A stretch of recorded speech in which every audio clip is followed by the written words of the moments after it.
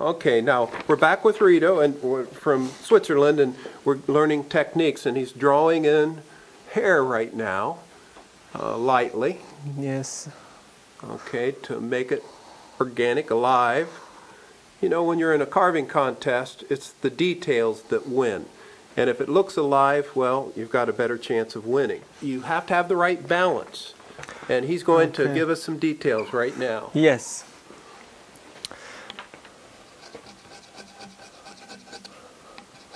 Oh, look at that. This is going to be hard for you to see. But for years, I've used a little veiner to do those little details, and he's just flying through that pattern on there. I hope you can see that because that is hair. How, now, what chisel is that? What number? Number number five. Swiss made number five. Yes. It uh, works with between number five to number nine. And that's the way you lay out most of the hair. Yes. See the rocking handle action. And also notice the vise he's using, it gets it up to the point where he's not bending over when he's carving. He, he can stand comfortably, use his whole body. Yes, and I can change the the bear or the piece what I carve very easy. This is an excellent vise, very easy to adjust. It's very important for us because we stay the whole day. We work always in staying. Now, this is a piece of dry wood, but you've carved green wood as well. How do you stop the green wood from cracking? Uh, you have to uh, cut it off on the right size from the moon. And where can people find out more about what the right sign of the moon is? Uh, you have to, to read some special books. Okay, which they teach you at Brienz. Yeah. Does Brienz have an active website where someone can go to look up details like that? no, I didn't know about the, the moon stuff that I learned from my own and from, from books too. Okay, gotcha. Now, do you teach classes? Sometimes, yes, small groups. Okay. Yes. So, folks, if you want to get together with one of the world's finest carvers, Reto is available, and you can find out more about him on a website that you'll see posted at the end of this clip. Very good.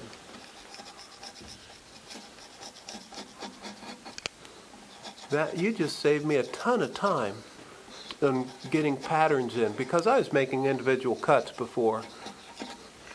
That's uh, kind to use the, the tools too. And now it's uh, uh, to, the tool 5 is too flat, I change to, to tool 7. I've been using Swiss-made chisels for years for carving, uh, ball and claw legs and furniture accents, and I've never been able to get a better edge off of any of the other chisels that I've tried. What makes them so good? It's I don't uh, can explain because it's it's the best. It I, is. tr- I try many different uh, kinds of tools, but f- for me and for many friends who uh, they are wood carver, it's the best best tool. It's not too too soft steel and it's not too hard steel. You can use in every kind of wood. And you like the handle because it's easy to articulate the cut and move the bevel Yes. to rock the blade. Yes. That is not a circle. You have it really good in your your hand.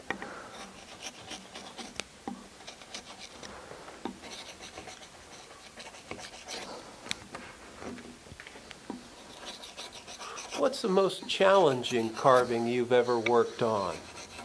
Naturalistic stuff is very big challenge that you you uh, can do like like a living people or a living uh, animal.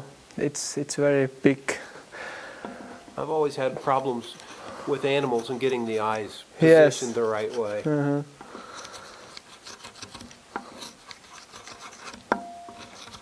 If there's one thing that you like to carve more than any other, what would it be?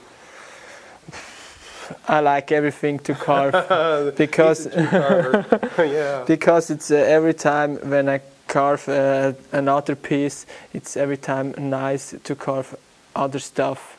The it's very interesting to carve different sizes. When I have to carve uh, 20 or 30 same pieces, uh, I would be happy to change. Now, on your website, uh, you have a lot of examples of your carving. Yes. So be sure to go there and check that out. Okay. I'll let you work away.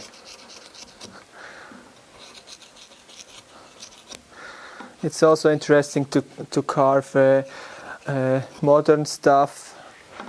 I like the the change from modern to traditional.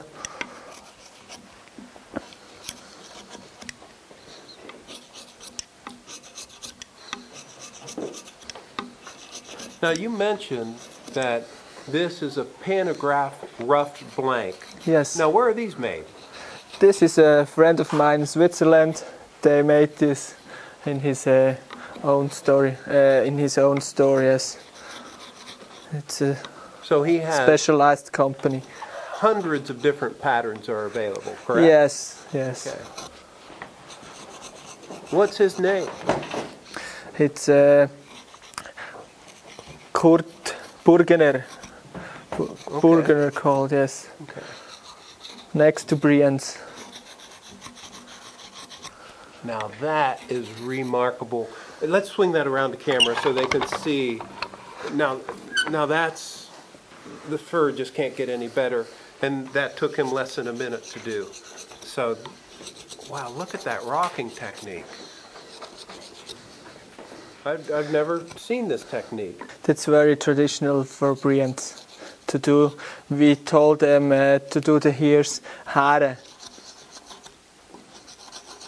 You can find only in Switzerland this technique.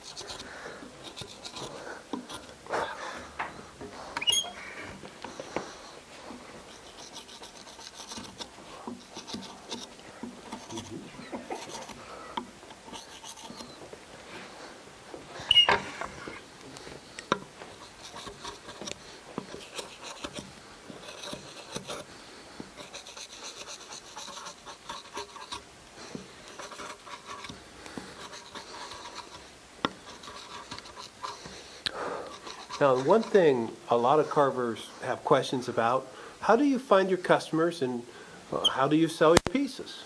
Because that's an important part. That's an important part too, yes. Uh, I'm very interested to go out and to meet many people, to go to shows, to go to events, and When you go when you go to a show, do you take Yeah. a lot of your work and then display it? yes.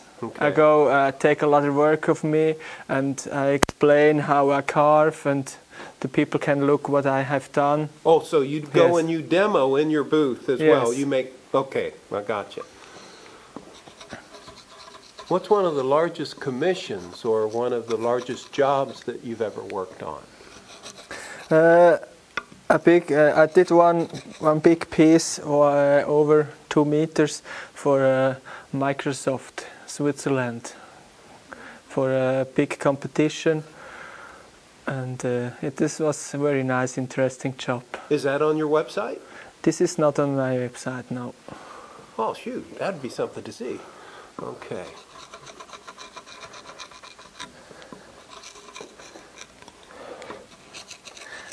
But I did one once uh, a little boy. Uh, this is uh, a piece what I have on my website. It's uh, like 80, 80 centimeter high. It's uh, the regular high. That's not realistic. I did uh, many pictures from every side from the from a little boy, and I uh, model it first in a big size, a little size Out of clay? out of clay, yes, and I make a copy into a real, real high into wood. You do that a lot with your work. You make a clay model first, Yes, and then you can change that so that the customer gets exactly what they like. yes, that's very important. That the customer has uh, his own meaning and his own picture in in his mind. That uh, how has to look the the carving or the sculpture, and that's my job to change the the picture in a three-dimensional size. Okay.